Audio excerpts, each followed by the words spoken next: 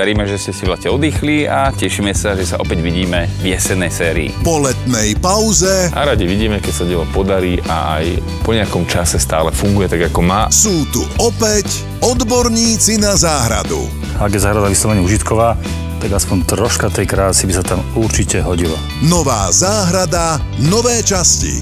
V nedeľu o 15.40 na Jojke.